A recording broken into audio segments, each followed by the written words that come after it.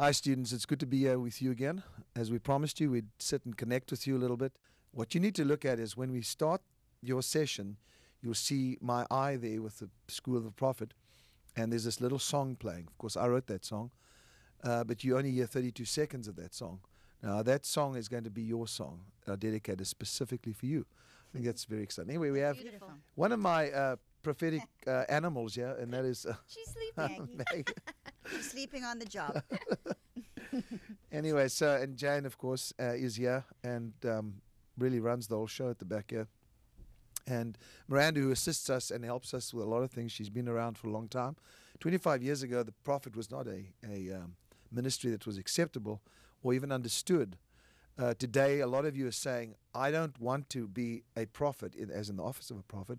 I want to learn more about perception and about being prophetic and, and uh, you know, uh, um, what's the word I use? Theophany. Yeah. Having a theophany as, a, as opposed to an epiphany. Uh, I want to have those moments and be able to interpret them. And that's what I'm trying to teach you. This is not just a course for education, but it's also a spiritual.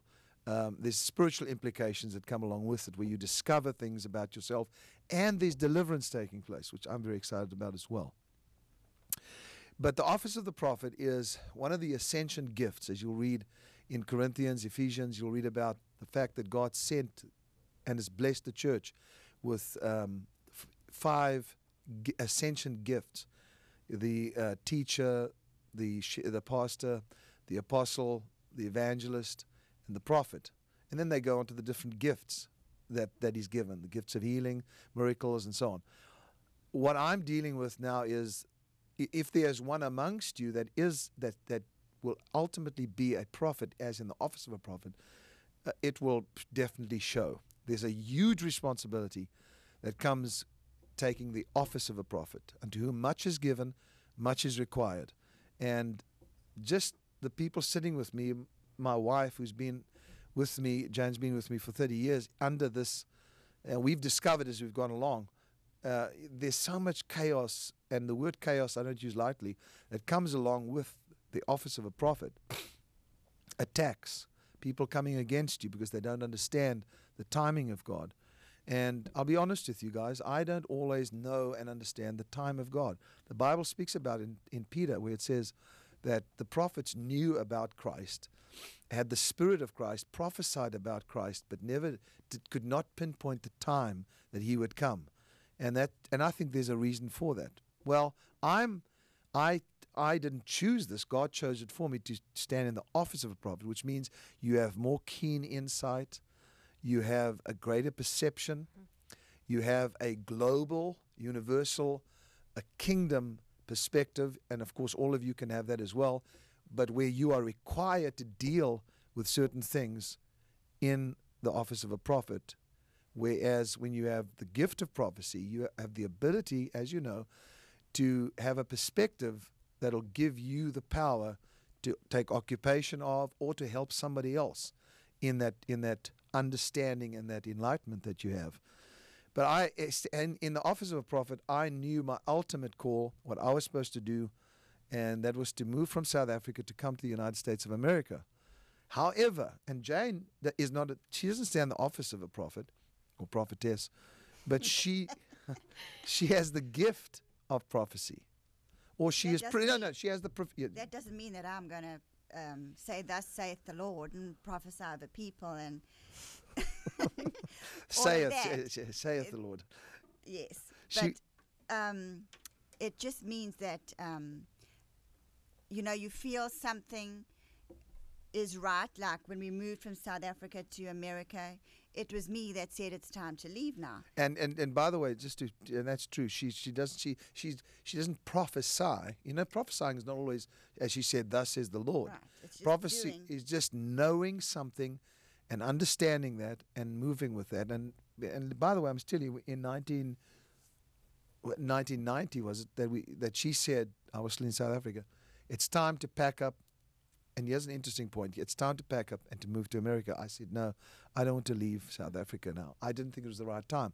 Because in the office of prophet, you, you, so, you know so much about so many things, but you don't necessarily know when the timing is.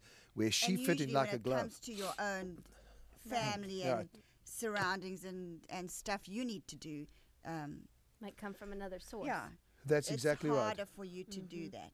It is hard because you have to lead yourself. And the best thing to have is a partner that can help you. Yeah, that's a great teaching in itself about marriage and That's right. Because, you know, I was saying something the other day when I was teaching. You know, without vision, the people perish.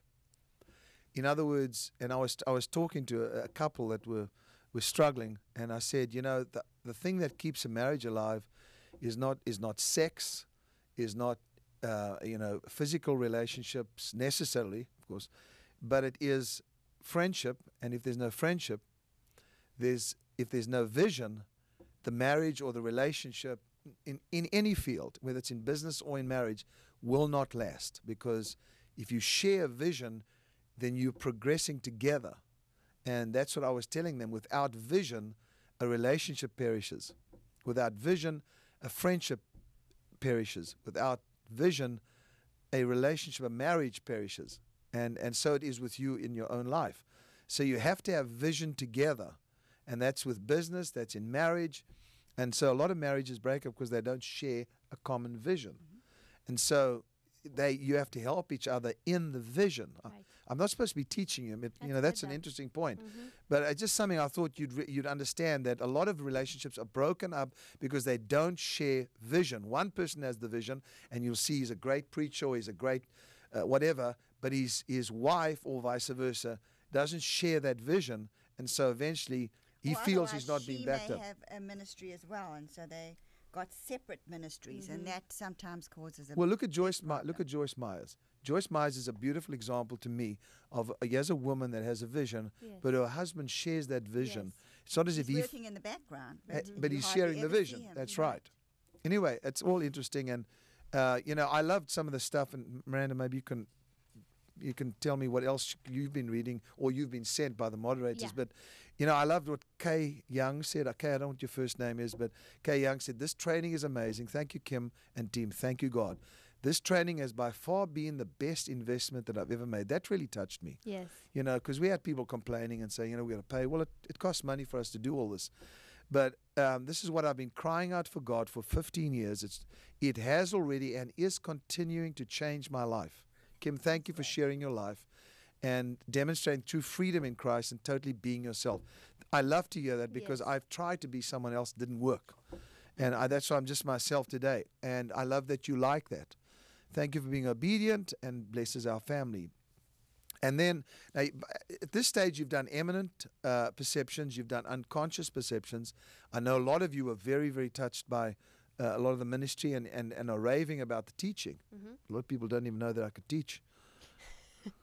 but um, we and now and now I'm, I've moved the I've moved the curriculum around just a little bit because I have to also feel where we should be going next, and I felt that our next one should be secret perceptions, and that's going to be it's going to blow your mind. Absolutely fantastic.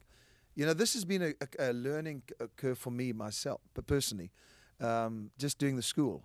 It's just been, for, for instance, everybody's asking why are you wearing scarves, Yeah, and and and I haven't revealed this yet, but I'll tell you guys because you're my first fruits. So, um, but this, I when I had the vision and I saw Jesus, just for that moment that I get a glimpse, I saw that he had something around him that looked like a scarf. I only saw realized that later on, and it's it's it's a mantle. And it was almost like the Spirit was saying to me, Now it's time for you to cast your mantle Jeez. Onto the Elisha generation. You've got to the age in your life, physically and spiritually, where you need to cast the mantle upon a generation. You are the first that I'm casting the mantle on. So I'm now I'm wearing this now. Uh, it's, it's a symbolic thing, of course, but it, but Elijah did have a mantle, and and I and and I, and I may teach this in in the in if we do an extra lesson, I may just do this, but where when Elijah came to Elisha, Elisha was a farmer and he was he was um, plowing, and it says he was plowing with the twelfth oxen. So Elijah came along and took his mantle and threw it onto Elijah. Elijah, Elisha. And at that time, Elisha was in a field. In the Hebrew, it's, it's Abel Meholah. You can read it in, in the Bible. he was plowing in Abel Meholah. And that word, that means the field of rejoicing. And so he was going through training when, when Elijah came and threw the mantle on him. And so he was in the field of rejoicing. That was a good attitude to have. And he was plowing. Hmm. He was busy. He was working. He was with the 12. and he was with, that's right. He was, mm-hmm. good Lord. that's right. She just corrected me. that's exactly what it says. Yeah. How did you remember that? Because I remember your teaching. he was with the 12th. That's right. It says he was with the 12th. He had gone through the government. 12 speaks of government. You know, I'm teaching a lot of stuff. I shouldn't be doing this, but the 12 speaks of government. So he'd been through the process of serving, plowing, and now it was time for Elijah to throw the mantle on him. But Elijah took the mantle back, remember? He just threw it on him. And so from that point, Elisha followed Elijah in teaching and serving until he got, he crossed over the Jordan, and then he had the mantle when Elijah was taken away. I. So I just feel like there's something about that. So that's what I'll be doing. And watch the designs. They're going to be beautiful uh, mantles. And, and in some of the meetings, I'll put them on children. Code breakers is a huge thing. In fact, Sunil may want to talk on the Yeah. next one, or even now. And we, we have Sunil who heads up our code breakers, and they break the codes. What they basically do is they find a prophecy I've given, they go and do research for me, and they research and find facts to to substantiate the prophetic word, and and and and code breakers is is just a, can you are you able to come here, Sunil? Come. Just come sit here for a minute. Um, maybe you could just tell us what code breakers is all about. But Sunil, tell us, uh, tell us what is code breakers. Code breakers came as a result of people attacking me and saying your prophecies didn't come to pass. Well, how do they know? Who Right. knows what's happening in England right now? I spoke about the discovery of AIDS by the year 2004 or something. Well, that's one of the biggest things you'll read is that, well, it didn't happen. Well, we're finding out now that that could very possibly, well, uh, possibly have happened because of reports that are coming around that time that there were, there were discoveries. One person was completely healed without any medication who had HIV, po- was HIV positive, and they, they cannot work out how it happened. So we don't know. Code Breakers is basically taking all the information, all the prophecies that you've uttered, and putting the pieces together. Sometimes, you know, you mentioned about that AIDS prophecy from Look at this fool. from. I think I will hold it. so, Be good. Be good, Meg. 'cause just as you mentioned about that prophecy about AIDS and a cure for AIDS, you know, at that time, it's been it's come out that there were in the labs cures discovered. There were mm-hmm. patients who were actually healed. Now, there's a there's a time period where they have to certify things. They have to exactly. they have to you know make sure get government approval. So we don't hear about that news, but it's happened, and we find out only later on. Mm-hmm. And Codebreaker, what I love about your prophecies is that you don't speak about things that don't matter to the real world, or mm-hmm. ma- you speak about things that are very relevant and matter to us. You see, now he heads up code breakers, and you hear prophecy, and, and then you see you see the watchdog group saying uh, Kim Clement's a false prophet because he said this was going to happen by such and such a time. Who knows? Who knows what happened at that point in time?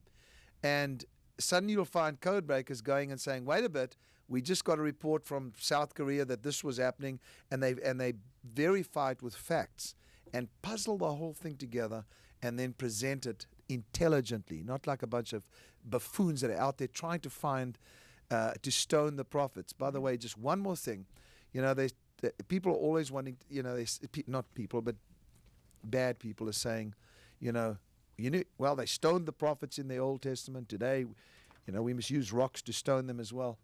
There's, there is a correction. There is an authority. It's called the Word of God, and that is the rock. That is the stone. And if there's any correction that'll be made to me in any way, it'll be the Word of God, which is my rock. Christ is my rock, and that is the Word of God, and that is my correction. So if anything is spoken and it, and it does not align itself with this Word, this is my correction. This corrects me. And, and, and you must always stay open to that. We love you very much. I could tell more things that have come in, but one of the things that somebody spoke about was the practicing of sin.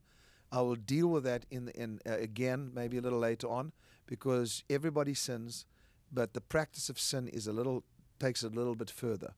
And um, it, one of the questions is do gays and other people who practice sins of the flesh still qualify? I will answer those questions, but get ready now. You're going to be uh, being taught the secret perceptions and absurd perceptions. Going to be fascinating. And anything else to say? I No, think that that's great. we love you guys. It's just very exciting that you're writing in. Don't stop. Enjoy yourself. You're going to get more knowledge and more knowledge. And and and somebody said, "Thank you for giving us morsels of more, feeding us one morsel of divine steak after another." I'm great at barbecues. I love you. God bless you.